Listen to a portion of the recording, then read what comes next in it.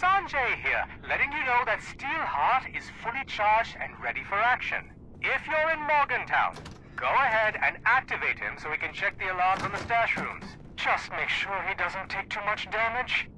I've got enough repair work as it is.